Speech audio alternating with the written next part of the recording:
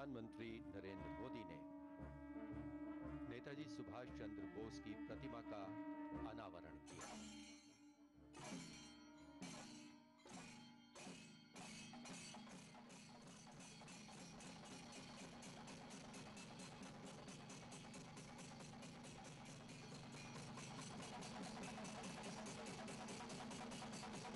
flowers of gratitude and remembrance.